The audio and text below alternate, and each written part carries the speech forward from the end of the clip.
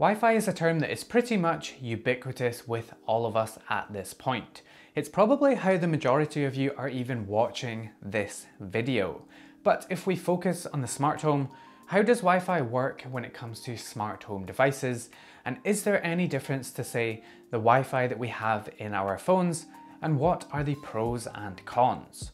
Welcome to the Smart Home Protocol series, where we are going to be doing a deep dive on protocols that our smart home devices use to communicate with each other in our smart homes, and we are kicking this one off with Wi-Fi. So right off the bat, is the Wi-Fi that exists in our smart home devices different to the Wi-Fi that we find in our smartphones?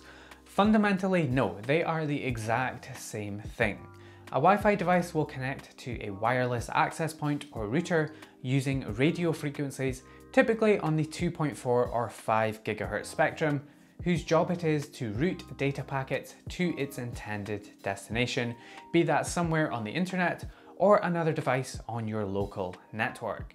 Wireless routers like this can support as little as say 30 devices at one time, all the way up to hundreds of devices at the same time, each of which is talking and sending data simultaneously that is being delivered and received at its intended destination in just a matter of milliseconds.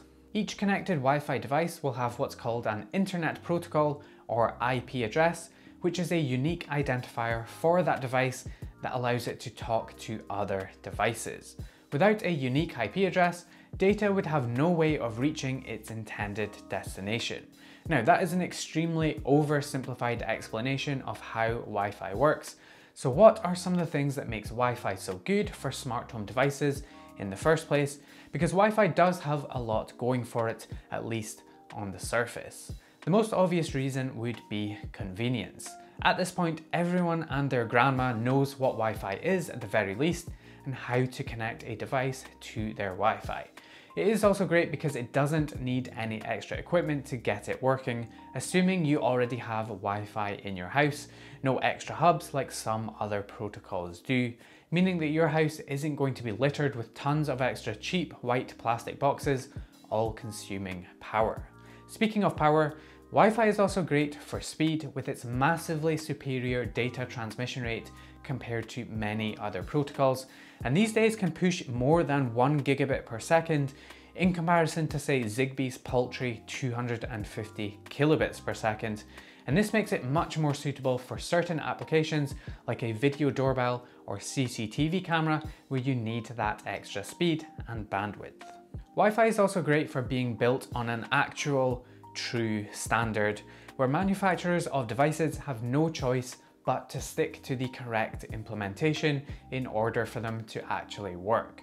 Think about it, right? There is millions and millions of different Wi-Fi devices out there in the world, all of which need to be able to connect to thousands of different models of wireless router.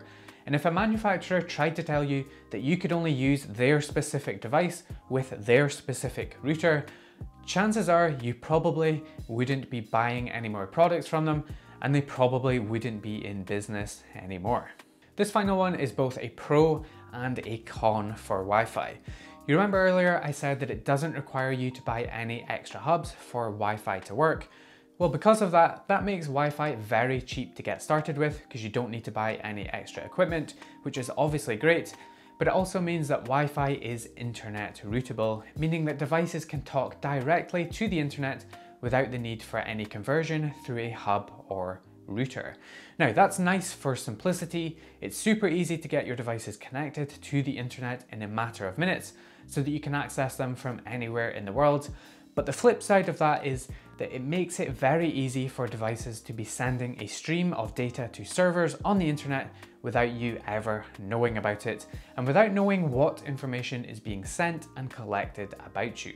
This also opens up the potential for hackers to gain access to your smart home, causing you to be the star of your very own horror movie.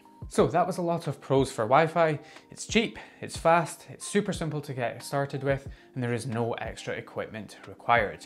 But what about the cons? Honestly, Wi-Fi does have a lot going for it, but it's not all perfect. Remember earlier I mentioned Wi-Fi is great for devices that need a lot of speed? Well that speed comes at a price, power consumption. Wi-Fi is very heavy when it comes to how much power it draws in comparison to some other protocols, making it unsuitable for anything that you want to run on battery power unless you want to change the batteries every day or two. Battery sensors are so convenient for a lot of reasons and essential for some other reasons, and this is where Wi-Fi's biggest downfall is when it comes to the smart home. Wireless sensors such as motion sensors, contact sensors, temperature sensors, heck, even these wireless automated curtains just don't exist with Wi-Fi in them because of how much power it draws. So if you were to try and stay exclusively to using Wi-Fi products only, you would miss out on a ton of potential in your smart home. Another con that many of you may not have considered is the impact that loading up your Wi-Fi router can have on your Wi-Fi experience.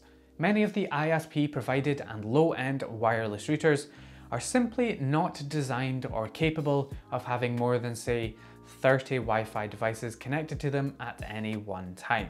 And if you connect lots of low bandwidth Wi-Fi devices to your router, it will actually start to impact the speed of your other high performance devices like phones and laptops because your router is constantly having to manage the connection of these other devices. Some of you will have high performance wireless networks, which is great, but many of you won't and you won't have realized the impact it can have on your Wi-Fi performance. Sometimes it's also nice to just have a separate dedicated network for your smart home devices.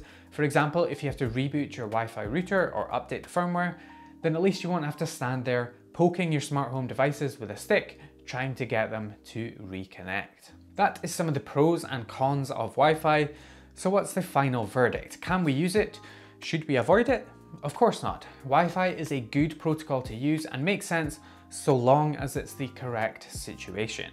Wi-Fi is perfectly acceptable for devices that are going to be wired into mains power and need to make use of that higher data speeds. For example, in video applications, and it also makes sense if you don't already have a lot of Wi-Fi devices or you have a strong Wi-Fi network in place.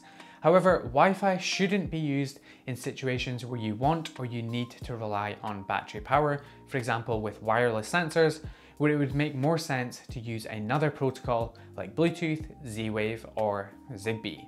Speaking of Zigbee, that is going to be the subject of the next video in the series, so make sure to get subscribed so you don't miss that. And finally, to address the inevitable comments that will crop up saying that hardwiring is better, of course it is, not only for its speed, latency and reliability, but this particular video is about Wi-Fi and we will talk about hardwiring in a future video. Hopefully you enjoyed this first video in the Smart Home Protocol series and it has cleared up some of the questions you had around using Wi-Fi in your smart home. Make sure to drop this video a like and get subscribed and leave your comments for what you want me to cover in the future Smart Home Protocol series and I will make sure that I will see you, I will make sure I will see you in the next video.